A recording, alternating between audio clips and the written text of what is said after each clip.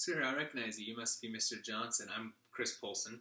I'm a student at Utah Valley University. I'm getting my degree in business management right now, graduating in a couple months. Uh, I'm looking for opportunities to bring the skills I learned at school through the marketing program to um, any business, and I would love to sit down with you. I've heard great things about your company and what you guys do. I'd love to sit down with either you or your marketing team and see kind of how I can fit and what I can bring to your team to help you guys get some good marketing and get your name out there a little better. If you uh, have any questions, please contact me. My name is Chris Poulsen.